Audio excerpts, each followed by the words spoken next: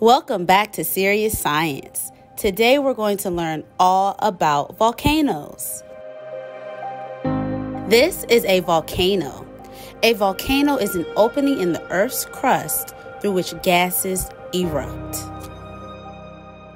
This is magma.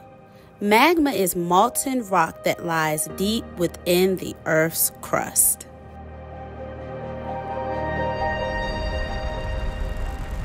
This is an eruption. A volcanic eruption is when lava and gas are released from a volcano, sometimes explosively.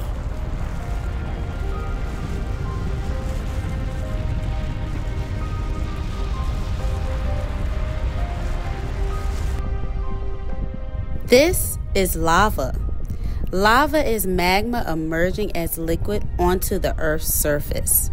When lava cools, it forms igneous rocks.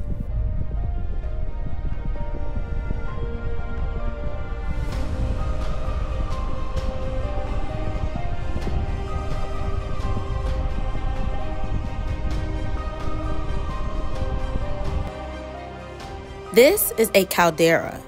A caldera is a large crater formed by the violent explosion and collapse of a volcano.